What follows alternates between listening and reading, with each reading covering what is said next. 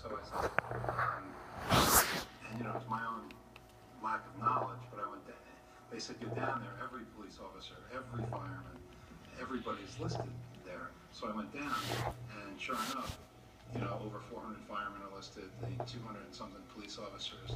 Um, they have a, a section for, um, uh, Port Authority. Port Authority, and um, then they put a, a special plaque up for uh, Officer Wassel. There's nothing for the court officers. So I don't know who paid for that memorial. I wasn't around then. Who, who, Fire department. fire department did that. I we don't have the money for that, but if they, if that union, I, I told them, I'll look into it, and then when I did look into it and saw all the names, I immediately contacted them and sent them some pictures.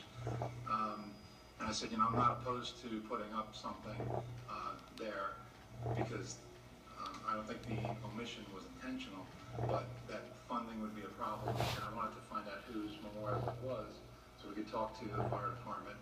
And, um, but if they're willing to pay for the, um, plaque and, and I didn't talk to them about either paying for it, but pay- for the plaque and the installation, it can't be much.